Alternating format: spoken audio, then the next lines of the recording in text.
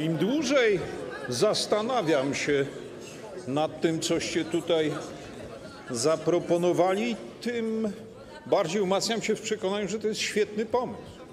To jest świetny pomysł referendum wyznaczone na dzień wyboru. Dzięki temu, mam nadzieję, większa liczba naszych rodaków uświadomi sobie, że to dzień, w którym trzeba potraktować tę kwestię referendalnie. Referendalnie.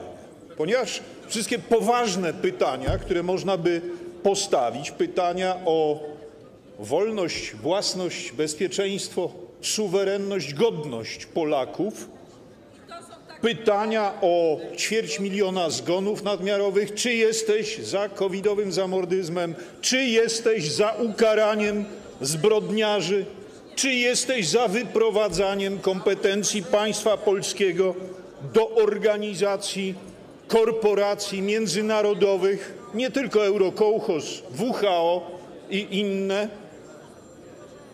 Im więcej tych pytań postawimy, tym bardziej jasne staje się, że odpowiedź jest wspólna, wspólny mianownik. To rząd Zjednoczonej Łże-Prawicy odpowiada za sprowadzanie tak powszechnego niebezpieczeństwa na naród polski, odpowiada za autodestrukcję państwa polskiego, autokompromitację, wyprzedaż.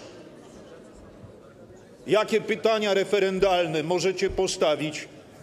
Wybór klęcznika, który wybierze polska postpeerelowska, eurokołchozowa dyplomacja, bo przecież nie wstajecie z kolan, zmieniacie tylko klęcznik.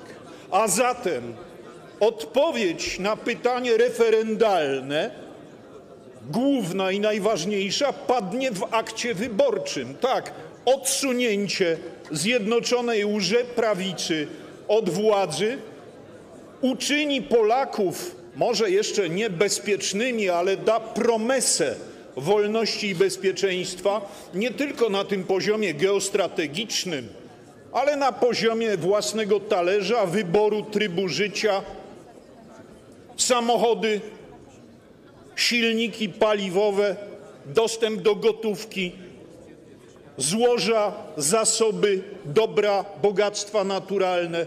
O, dzisiaj, za chwilę będziemy głosowali kolejną szkodliwą ustawę, którą tutaj przynieśliście, druk 3515, prawo geologiczne.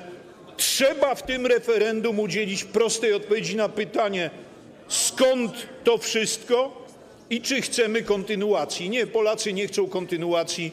Polacy chcą wolności, godności, suwerenności. Dziękuję. Pani poseł Paulina Hennig-Kloska.